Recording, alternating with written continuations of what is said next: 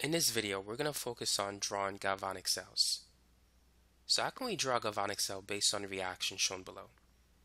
And we need to identify the anode, the cathode, and we have to show the direction of the electron flow and the migration of ions in the salt bridge. Now the first thing we need to do is separate this overall reaction into two half reactions. So let's focus on zinc. The oxidation state of zinc changes from 0 to plus 2 or 2 plus. So the oxidation state of zinc is increasing. Whenever the oxidation state goes up, you're dealing with an oxidation reaction. If the oxidation number goes down, you're dealing with a reduction reaction. So zinc is associated with oxidation based on the way the reaction is written. So zinc ionizes into the zinc 2 plus cation and it loses 2 electrons. Oxidation is always associated with a loss of electrons. Now the other half reaction must be reduction. The oxidation state of any pure element in its natural state is 0. So Fe changes from 2 to 0. So the oxidation number is decreasing. So that's associated with reduction. So we have Fe 2 plus, and it acquires 2 electrons, turning into Fe uh, solid metal. Anytime the electrons are on the right side, it's an oxidation half reaction. If the electrons are on the left side, it's a reduction half reaction. Now you need to know that the anode is always associated with oxidation, and the cathode is always associated with reduction. So the iron electrode is the cathode, and the zinc electrode is the anode. So with this information, we can now draw the galvanic cell. So let's go ahead and do that.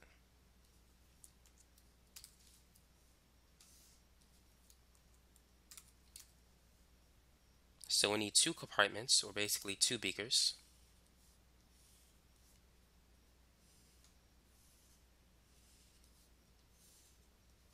And we need to place an electrode inside each beaker.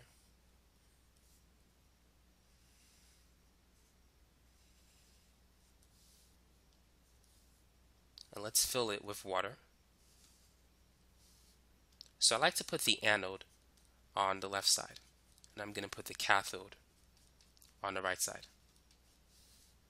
So the anode is the zinc electrode and the cathode is the iron electrode in this example. So I'm going to use a wire and attach it to a voltmeter.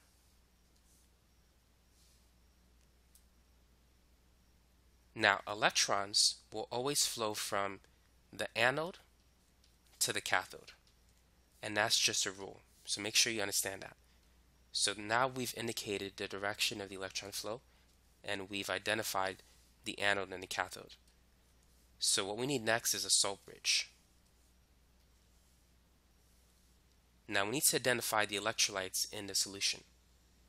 So since I have a zinc electrode I'm going to use zinc sulfate as the electrolyte for this solution. And I'm going to use the standard concentration of 1m, 1 mole per liter. And on the other side, I'm going to have a 1 molar solution of iron 2 sulfate. Now let's talk about what's going to happen. We know that oxidation is going to occur at the anode. And so at the anode, zinc loses two electrons. So the electrons flow from the zinc anode to the iron cathode. Now at the cathode, the iron ions in the solution, they're going to travel towards the cathode and pick up two electrons. And so they're going to turn into iron metal. So a zinc atom is going to leave the electrode and enter the solution as the zinc 2 plus ion. And an Fe2 plus ion, it leaves the solution and deposit itself on the cathode. So the mass of the anode decreases, but the mass of the cathode increases over time. Now, at the salt bridge, the cations are going to travel towards the cathode. the cations are the positively charged ions. So in this case, zinc is going to go from the metal into the solution and eventually it's going to flow through the salt bridge. So the zinc ions will flow in this direction. And then the sulfate ions will flow in the opposite direction. So we may have to mix the salt bridge with an electrolyte. If you mix it with zinc sulfate, the zinc ions in the salt bridge will travel in this direction towards the cathode, and the sulfate ions will go towards the anode. So whatever the ions that are in the salt bridge, the positively charged ions will flow towards the cathode, the negatively charged ions will flow towards the anode. Make sure you understand that. So that's the migration of the ions in the salt bridge. And so that's basically it for this type of problem. Now, if you want to calculate the cell potential, you need to look up the values in the standard reduction potential. The standard reduction potential for this in its reverse direction is negative 0.76. But when you reverse it based on the way it's written here, this is going to be positive 0.76. But when you look it up in a table, this reaction is written in reverse compared to what you see it right now and so it's going to be negative 0.76. Now, in the standard reduction potential, you're going to see this reaction exactly the way it is written, and this is going to be negative 0.44. So to calculate the overall cell potential,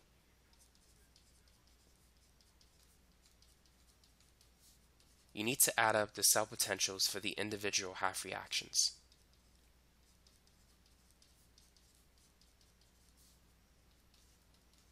And for a galvanic cell, the standard cell potential will always be positive. So if you add 0.76 and negative 0.4, I mean negative 0.44 rather, the cell potential is going to be positive 0.32 volts. And so that's it for this problem. Now there's one more thing I want to go over for this problem, and that is the cell notation.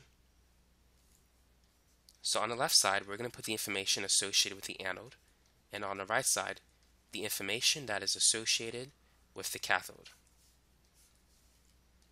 So the anode is the zinc electrode, and we need a single vertical line to separate the solid phase from the aqueous phase.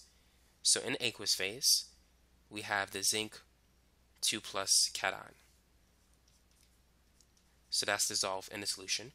And we need a double line to separate the first half cell on the left with the second half cell on the right. On the right side, we have the Fe2 plus ion. And then we need a vertical line to separate the aqueous phase from the solid phase. We had an iron electrode as the cathode. And so that's the cell notation for our first example. Now let's work on another example. So let's say if we're given the reduction potentials of two half reactions.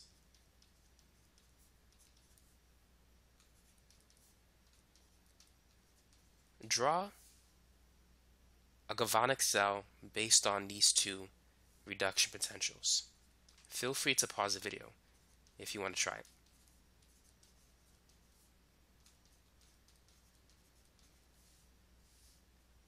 So what we need to do is identify which reaction is the oxidation reaction and which one is the reduction reaction. Now for a galvanic cell, the cell potential must be positive.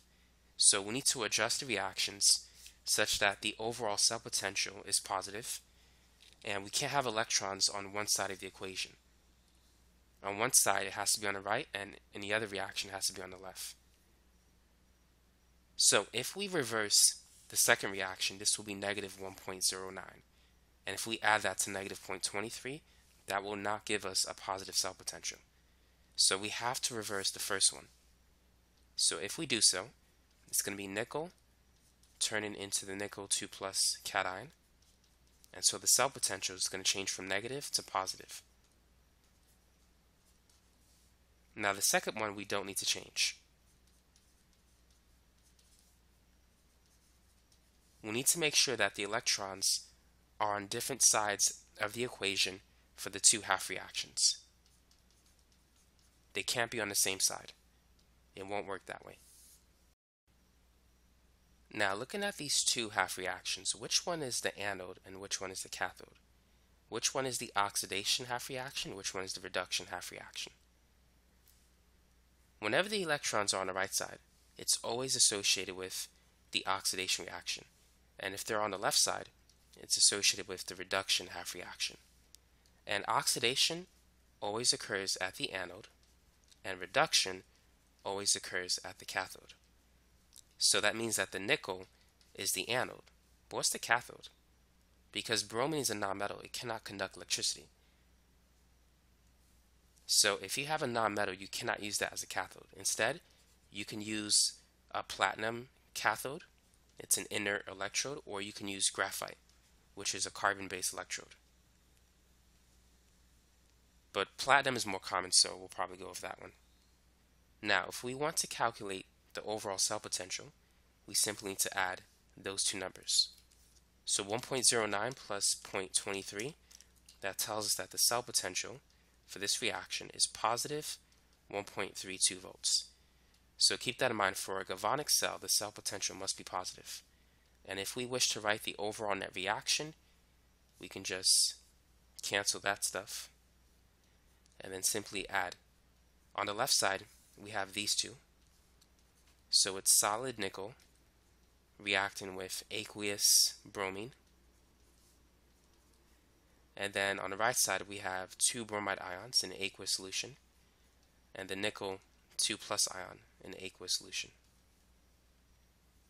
And so that's the overall reaction for this example. But now let's sketch the galvanic cell.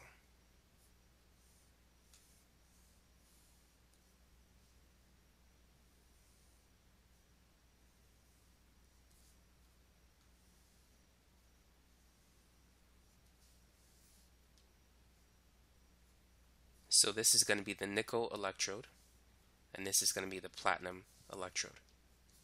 And so we're going to have a wire attached to a voltmeter. And so we have the anode on the left side and the cathode on the right side. So the electrons are going to flow from the anode to the cathode. Now we need to have a solution in both containers. And so I'm going to use a 1 molar nickel sulfate solution. On the other side, I need a 1 molar bromine solution. And also I need bromide as well. So I'm going to use a 1 molar sodium bromide solution. Sodium is inert in an aqueous solution. And then we need a salt bridge. So let's not forget that. So I'm going to soak the salt bridge with nickel sulfate first. So the nickel cations will travel towards the cathode and the sulfate anions are going to travel through the salt bridge but towards the anode. So keep that in mind. The cations flow towards the cathode. The anions, the negatively charged ions, they flow towards the anode. Now the last thing that we need to do is that we need to write the cell notation. So going from anode to cathode. So the anode is the nickel electrode. And then in this solution we have the nickel 2 plus ion in the aqueous phase. And then let's use a double vertical line to separate the anode half cell with the, the cathode half cell. So on the right side, we have bromine in the aqueous phase, and we also have bromide bromine is going to change to bromide. For the cathode reaction, it's going like this. It's going from reactant to product. So bromide is the product, and then bromine is the reactant. And then the electrode that we're using for the cathode is a platinum electrode. So this is the cell notation for this particular problem. And so that's it for this video. So hopefully it gave you a good idea of how to sketch uh, galvanic cell or voltaic cell. Thanks for watching.